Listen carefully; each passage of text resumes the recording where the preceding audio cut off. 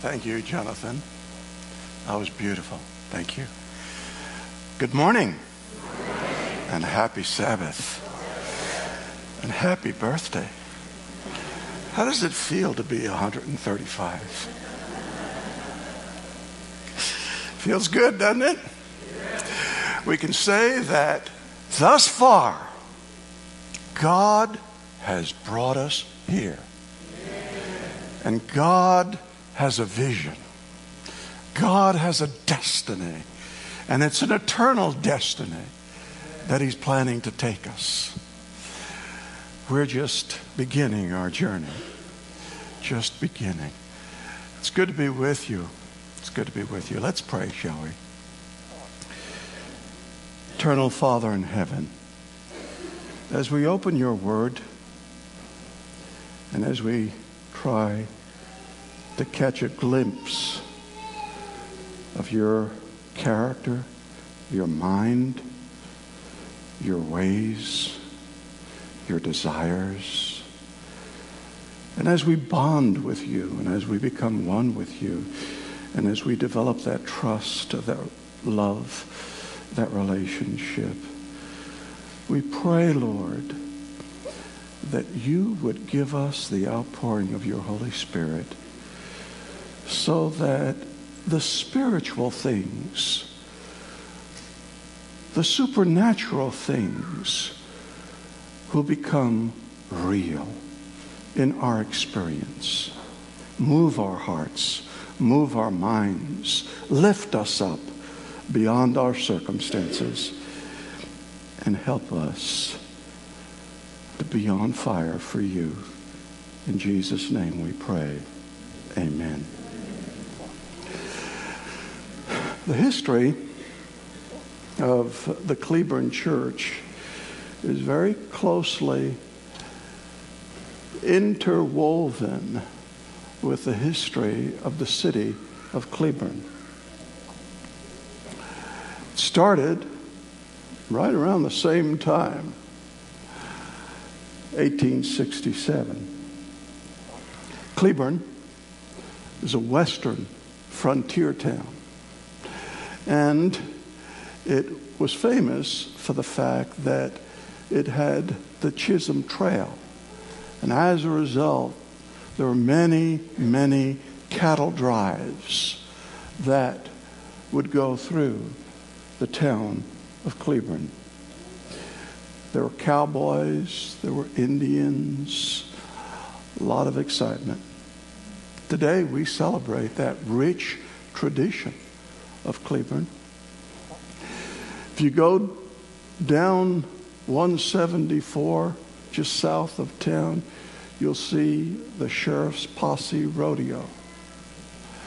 Celebrate all of the activities, the rodeos.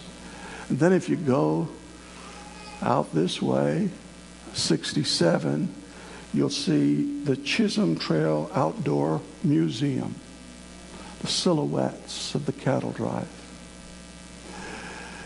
And it reminds you of the rich, rich history. So I want to start off this morning by telling you a story of a cowboy. His name was Mr. Sanderson. And he had a remarkable horse. I love horses, don't you? I think they're the most beautiful thing in existence. Well, he had a remarkable horse. His horse was named Nightlight. And he would enter his horse, Nightlight, into a rodeo competition. Now, this rodeo competition was called cutting cattle.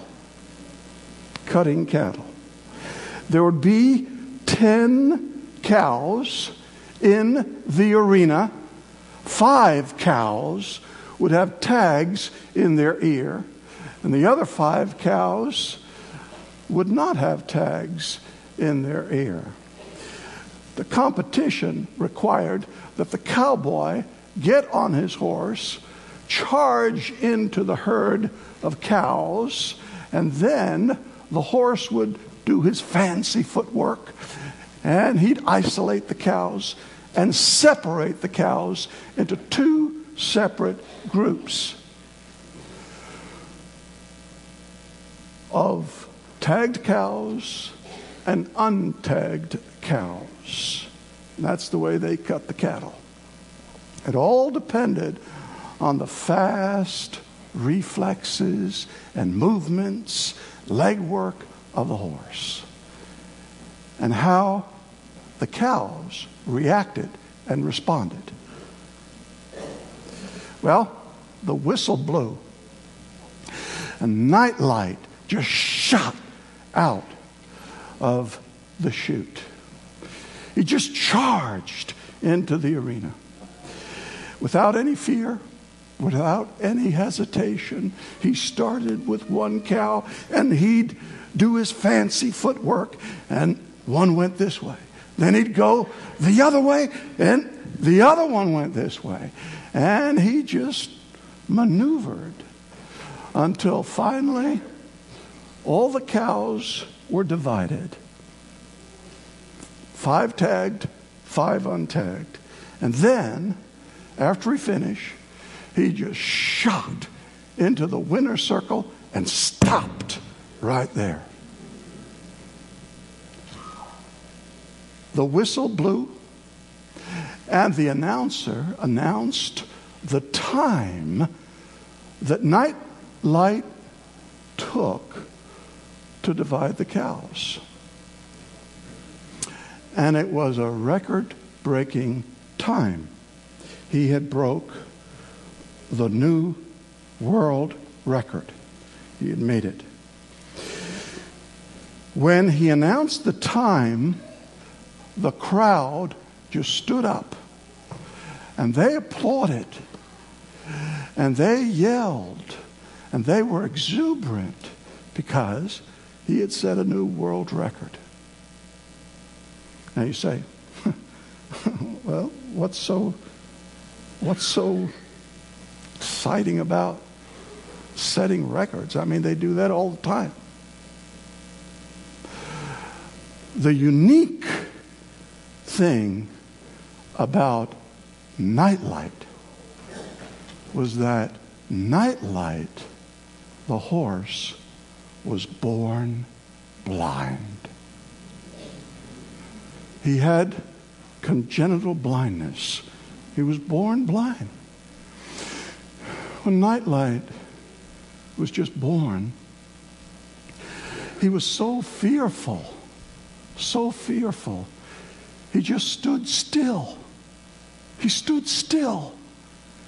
And Mr. Sanderson would have to gently, consistently, patiently nudge him to take a step. Come, Nightlight. Come on, boy. Come on, boy. Take a step. And over days, over weeks, over months, over years. Nightlight developed a bond, a bond of trust with Mr. Sanderson. As a result, he had implicit obedience. Whenever Mr. Sanderson let loose of the reins, Nightlight would explode. Whenever he just used the neck reins and just tilted to the left, Nightlight shot to the left. Whenever he moved to the right, he shot to the right. Whenever he held back, he stopped instantly, automatically. Whenever he pulled the reins gently, Nightlight would back, back up. Nightlight, even though he was blind, had implicit trust. Implicit trust. He could go into an arena filled with cows, with horns, no fear, no hesitation. And he would just respond to his master's signals with the neck reins. Now, I tell you that story because that story illustrates a profound spiritual lesson. And that is obedience, true, genuine, spiritual obedience springs from, is a byproduct of a relationship of trust and of love. Christ said, If ye love me, it takes time to learn to love, it takes time to learn to trust. Keep my commandments. The righteous are described four times in the Bible Habakkuk, Romans, Galatians, Hebrews. The just shall live by faith. The word faith in Greek is pistis, and it can be translated faith, belief, or trust. Those three. They're interchangeable. One word, one Greek word for three English translations. The way you translate it is contingent on the context. In other words, the just, the righteous live by trust, by faith. Now, I want to take that principle, I want to take that principle and bring it to another story. This is a story that illustrates a corporate, a corporate developing of trust, a corporate development of yielding and surrendering, a corporate development of obedience. And it culminates with the Ebenezer stone. The Ebenezer stone, if you turn to your Bibles, is found in 1 Samuel chapter 7, verse 12. Now, inspiration says, Patriarchs and Prophets, page 591, that this was a great, it was a huge stone. It was a huge, great stone. In 1 Samuel chapter 7, verse 12, it tells us then Samuel took a stone, that's a great stone, and set it up between Mizpeh and Shen, and called its name Ebenezer, saying, Thus far the Lord has helped us. Thus far, thus far, God has brought us to this place. Now, the story of the Ebenezer stone is a fascinating story. And I'm sure you've heard of it many, many times. You've read about it. And, and I'm sure that there's nothing really new about this passage. But every time I read the scriptures, and every time I study the scriptures, there's always something new, always something different that, that I begin to see. The scriptures are like a diamond that when you look at it, you see a certain perspective and you see the glimmer. But then you keep on looking at it and twisting, and you see other facets, other dimensions. And the more you study the scriptures, the unfathomable it becomes. You can never exhaust the Word of God. But now, in order to understand what's going on here, you have to understand the setting, the background. You have to understand where did God lead his people? From what? How long? This event takes place around 1050 BC. It's just about the time that King Saul is going to reign. And it's and it's right right at the culmination of the period of the judges. Now, there was an overlap between the period of the judges because of Samuel and the period of the monarchy because of Saul. There was an overlapping.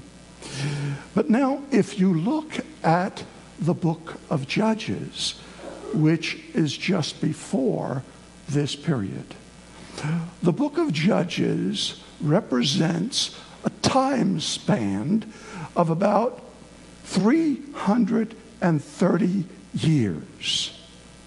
330 years. There are 12 judges that are mentioned. 12 judges that are mentioned. And then after that, there's Eli, who the Bible says judged Israel for 40 years. And then after him, Samuel. And Samuel is in his years, he's about 40 years at about this time. And he became a judge at 20, so you have 20 years. So you have almost, almost 400 years. 400 years, the time of the judges. Now, the time of the judges was a dark, dark period in the history of Israel. It was a dark period because when you analyze it, when you analyze it, you see a pattern that seems to surface a pattern. It's a pattern of a roller coaster. It's up and down, up and down. And if you read it, you will see that they are in bondage. They're in bondage. They cry out to the Lord, and the Lord sends a deliverer and delivers them from the oppression. And then they go back to bondage. And then they cry out to the Lord. And God sends a deliverer. And you see the pattern repeated. They go into bondage from the Midianites, the Moabites, the Canaanites, the Ammonites, and three times they're in bondage to the Philistines. Three times. So you see a pattern. You see a pattern. And then you ask yourself, why? I mean, don't we generally learn from our past? Why? Why?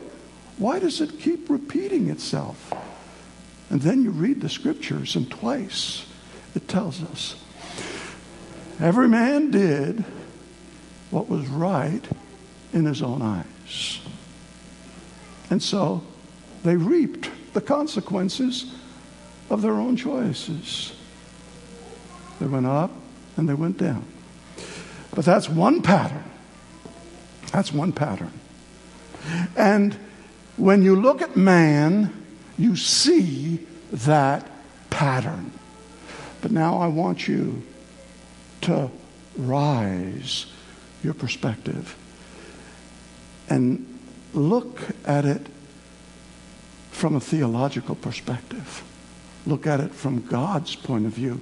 What does the book of Judges tell us about God? It's not explicit, it's implicit. You have to read between the lines. Remember, I said, every time, every time they were oppressed, they were lamenting, they cried out to God. And every time, every time, God responded. God was consistent. God was constant. God was long suffering. God was forgiving. God was merciful. God was accepting. God kept working with them.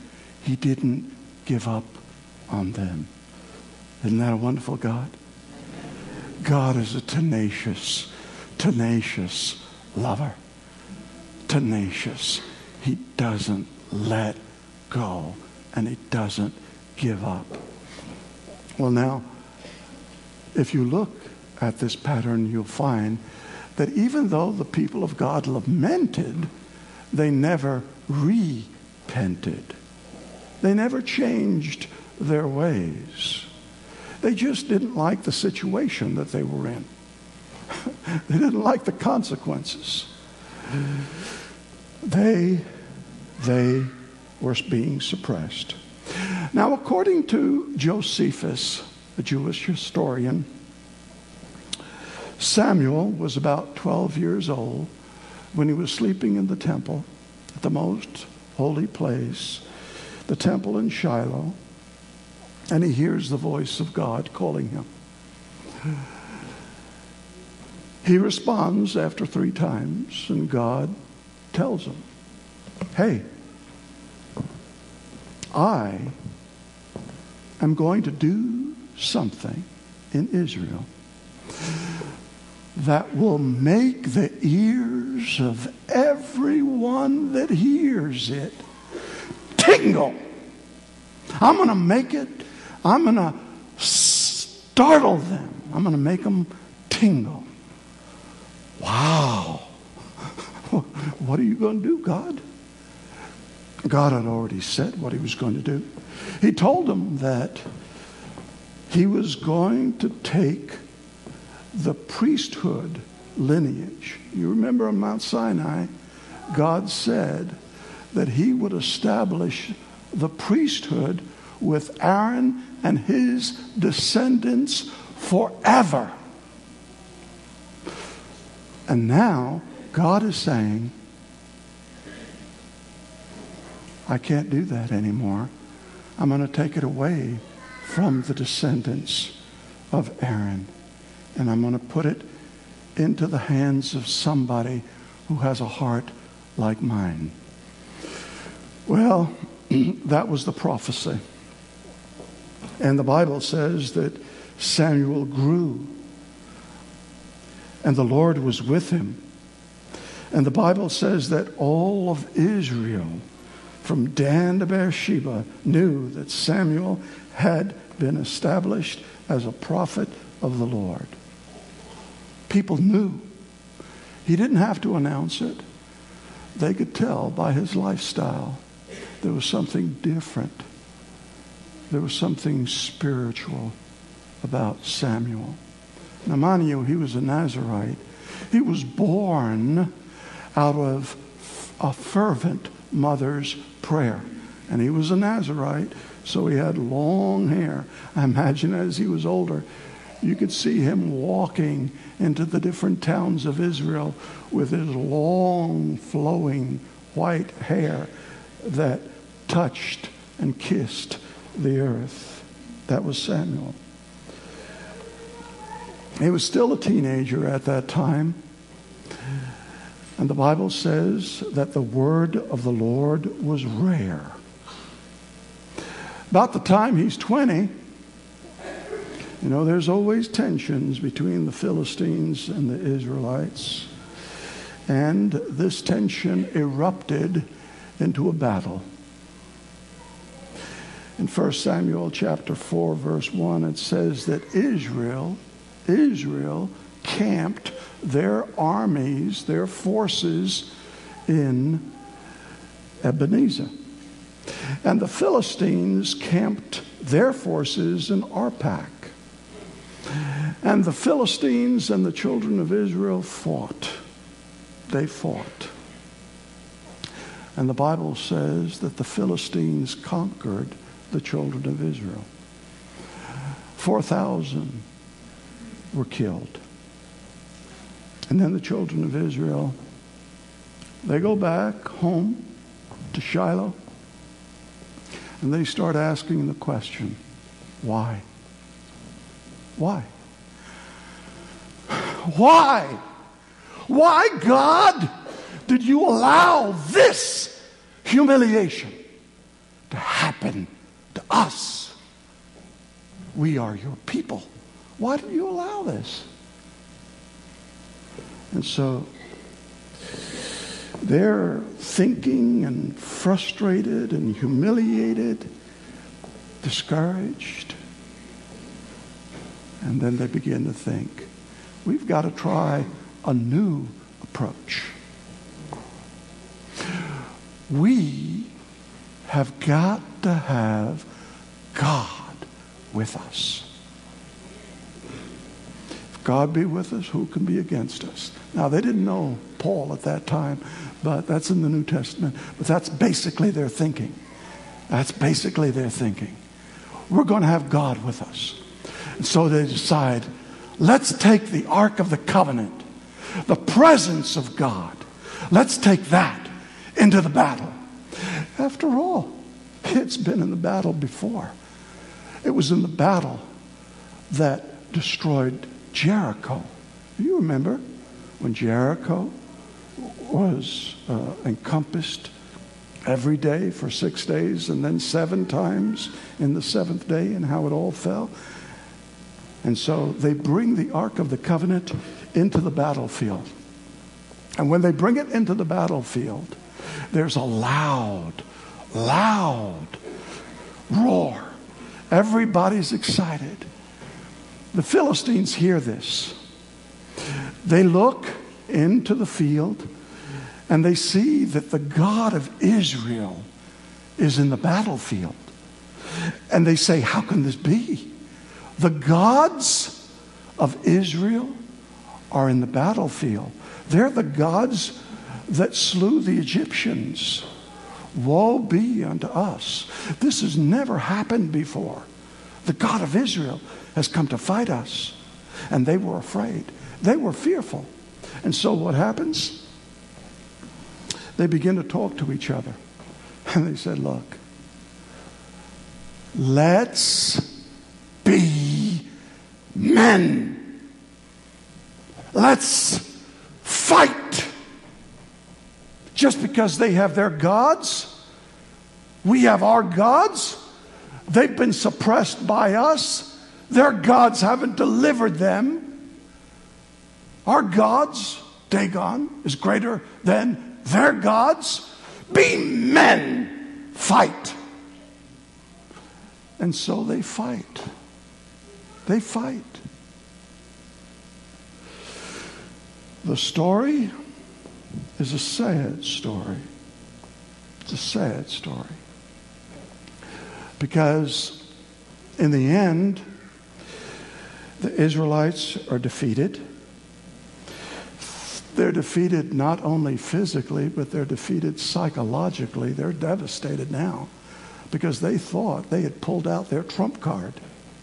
They thought that by having the Ark of the Covenant, the presence of God Almighty, that they would win the battle. And they lost. Their expectations of God and what God would do for his people were shattered. They were shattered. 30,000 men died. The Ark of the Covenant was captured. Hophni and Phinehas, the priests that brought the ark into the battlefield, were killed. And then, when a Benjaminite goes back into Shiloh to report what had happened in the battlefield. His garments are torn and he has sand on them as if he were in sackcloth and ashes. That's the appearance of deep grief in Israel. And he comes to Shiloh and he reports the news. And he tells Eli the high priest, Eli hears the news that the Philistines have defeated the Israelites and have captured the ark. And as a result, he falls backward, breaks his neck, dies. And then his daughter in law, Phinehas' wife, she was just about at term, just about ready to deliver. She begins to have labor pains. And she gives birth. And she dies at birth, giving birth. And she calls her son Ichabod, meaning that the glory of the Lord has left Israel. That's a sad day. It's sad. I mean, it's depressing. I mean, remember, remember, this is about 400 years after them coming into Canaan. Now, stop. Think about this. They were 400 years in slavery in Egypt. They wander 40 years in the hot desert. Whole generation dies off. And now they come to the promised land, the land of milk and honey, where all of their dreams, all of their expectations were going to be fulfilled. And they're being oppressed, being kept in servitude for almost 400 years. And now this, the presence of God, is not with them. Oh, it was a dark day. It was a dark day. Dark day. But then the Philistines had the Ark of the Covenant, and they moved it to several cities, and every time they moved it, they suffered from tumors. And so, after seven months, they decide that they're going to return the ark. The ark brought them sickness, brought them suffering, and they thought that it was a curse. They wanted to return the ark. So they figure out a plan how to return the ark. They put it in a cart. They, they had two cows that were milking their calves, carrying or leading the ark, and they carry it to Kadesh Jearim. And when they carried it there, they left the ark there for 20 years. 20 years. It was basically ignored. Basically ignored. And now the children of Israel, they're still in bondage. They're still in servitude. They're still oppressed. Now they begin to lament. They begin to think about their life. They begin to think, you know, there's something missing. Something missing. There, there has to be more. There has to be more. They're in the bottom of the pit. And they come to Samuel. Samuel's about 40 years old now. They come to Samuel and they say, Samuel,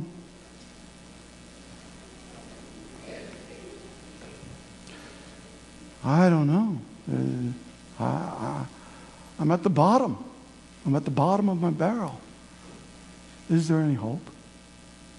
Is there any hope after all these years? Is there any hope? What can we do? Samuel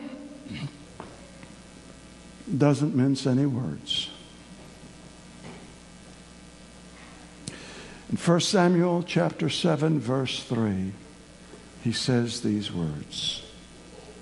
If there's a condition, if you return to the Lord with all, all, not some, not 95%, but all of your hearts. All of your hearts. And put away, put away all of these foreign gods, all of these Baals, all of these Ashtoreths. Put it away. Put God first, completely, and serve only the Lord. Serve only the Lord with all your heart. Then God will deliver you. He will deliver you from the Philistines. That was the condition. That was the condition. The condition was give all your heart to the Lord. Don't mingle it with any other foreign gods. And you notice in the next verse, the Bible says that Israel put away all of their gods, the Baals, the Ashtoreths, and they served the Lord only. Only. This is the first time, first time that there is corporate repentance in Israel. Corporate repentance. First time. Now, this is the interesting thing. God's people are coming back to God. They're repenting. They want to serve the Lord with all their hearts. Now, let me tell you something. Do you think that the devil likes that? Absolutely not. Whenever, whenever you have an impulse, an inkling from the Holy Spirit to recommit your life, to study your Bible more, to pray, to serve Him, you rattle the devil's cage. He doesn't like it. He doesn't like it one bit. And he's going to do everything he can to discourage you. So, the children of Israel come. They're having a revival. They're going through reformation. They're shouting. They have prayed. They have fasted. It's a glorious occasion. And the Philistines are on top of the mountain and they're looking down. And they're saying, What is all the focus going? What's all the, the, the ruckus? What's all that noise? What, what's going on? And so they decide, We have got to spoil this party. We've got to come in there and we've got to teach them we are the masters and they are the slaves just about the time that Samuel takes a young offering, the children of Israel become afraid. They're afraid. They come to Samuel and they say, they say to Samuel, Samuel, please, please intervene for us. Pray for us.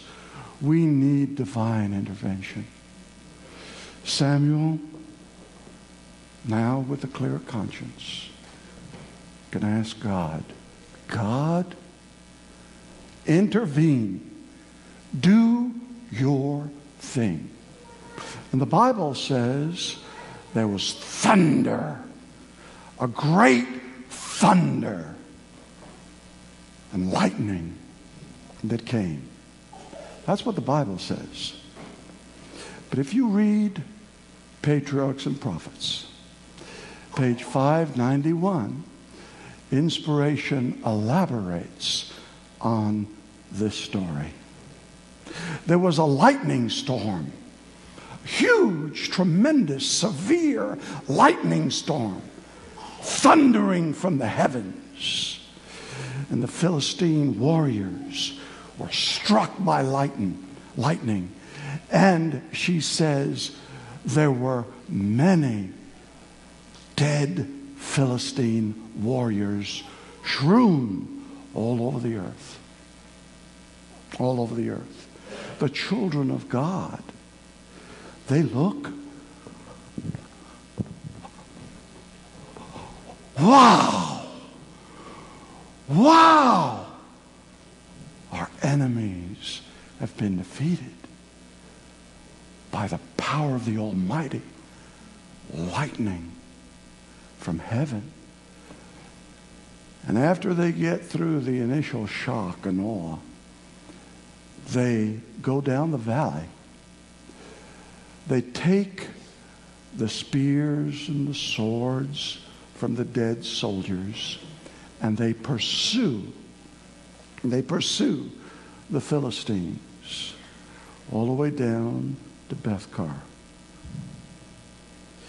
And then Samuel takes a huge stone, huge stone. And he says, This is Ebenezer, the stone of help. The stone of help. Hitherto has the Lord helped us. Thus far, thus far has the Lord helped us. What a change! What a change from dark, dismal depression and, and difficult circumstances to victory, to light, to liberation. The Bible says that the Philistines returned the land that they had taken back to the Israelites and that the Ammonites made peace with the Israelites, and all during the life of Samuel there was peace. Now, Samuel died at about the age of 82 or 3 or something like that. So you talk about over 40 years period of peace. That's the second longest time span of peace during the time of the judges. That's phenomenal. That's phenomenal. Ellen White makes the statement in Patriarchs and Prophets, page 188. The Christian should often review his past life and recall with gratitude the precious deliverances that God has wrought for him, supporting him in trial, opening ways before him when all seemed dark and forbidding, refreshing him when ready to faint. He should recognize all of them as evidences of the watch care of the heavenly angels. I know that God has done a lot in my life, and I know in some of your lives. God has intervened. God has brought you back to health. God has provided for you. And if you look back, if you look back and just reminisce, you see the mercy, the long suffering, the compassion of God. And as we look back as a church, we can look back 135 years and see how God, how God provided. In 1875, when the population of Cleburne was only 1,500, evangelist Robert Kilgore held meetings. 300 people attended. That's one fifth of the town's population. And twice the winds blew and tumbled the tents and destroyed the tents. And they rebuilt. God's people persevered. You would think that that would get them discouraged. But they kept on keeping on. And then in 1878, they built a church. First church we had. And it was destroyed by a tornado right after it was built. It was destroyed into pieces, the historian says. But God's people persevered. In 1911, there was another church, the church that was built in Sunset and Featherston, and it was built debt free. Debt free. 1969, this church was built. At that time, we only had about 213 members. The land was donated by your mother and father, uh, Elvin and Julia Walthrop. We've had several lightning strikes. The first lightning strike hit the top there, and the church members decided that rather than just repair the hole, they would build the balcony. That balcony is a memorial to the fact that good came out of bad. And in 1995, we built the Family Life Center. Pastor Rick Peterson worked hard. 1998, we built the school. Got that going. Now I believe we have about 38 students or so. Is that correct? 38? And three teachers. Then 2007, we started the Hope Clinic, and we've seen 23 patient visits. Ellen White says it's good. It's good to reflect, to reflect, and see the hand of God working.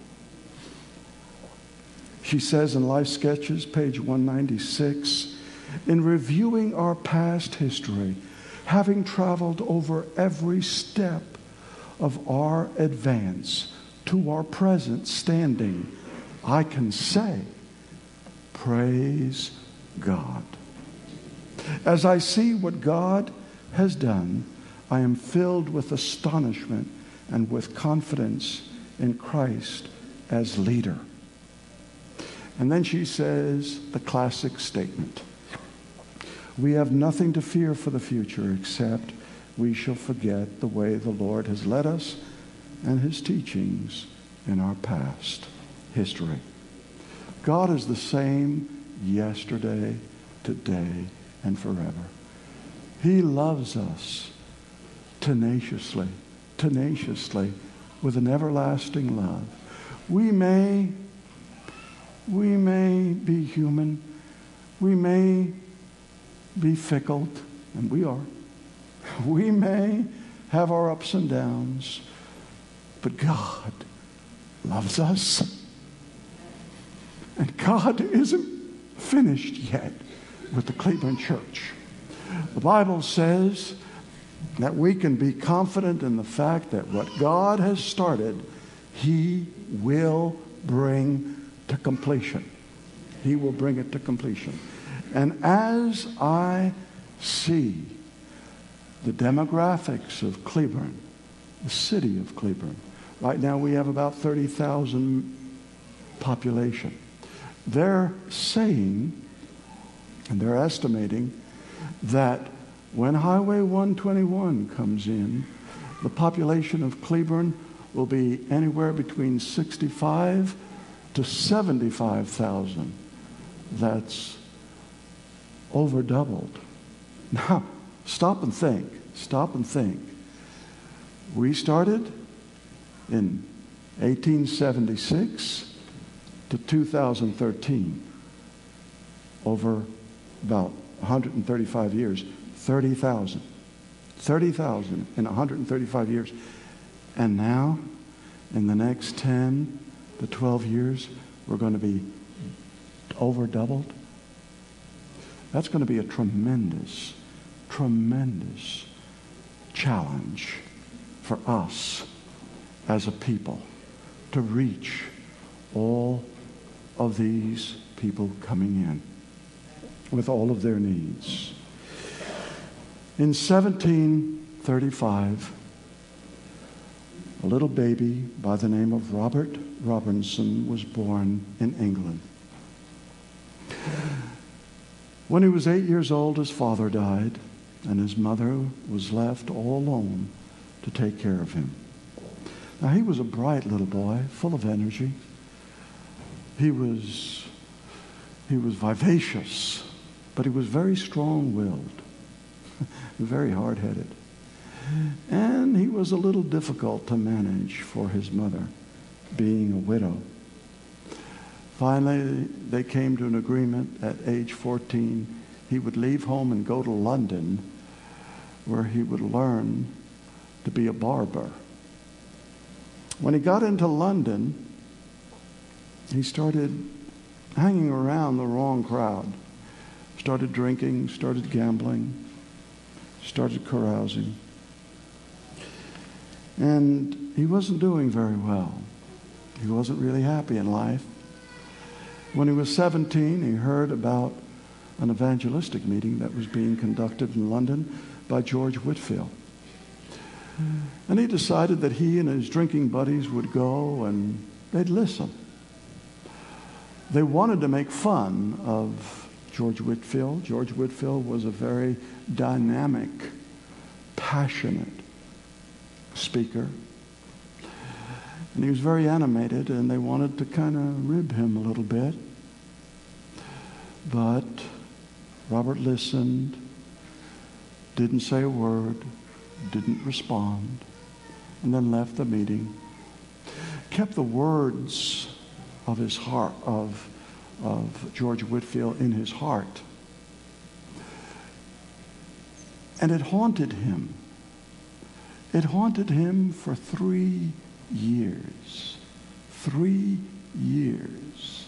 And then finally, he decided, I'm going to give my heart, all of my heart, to the Lord.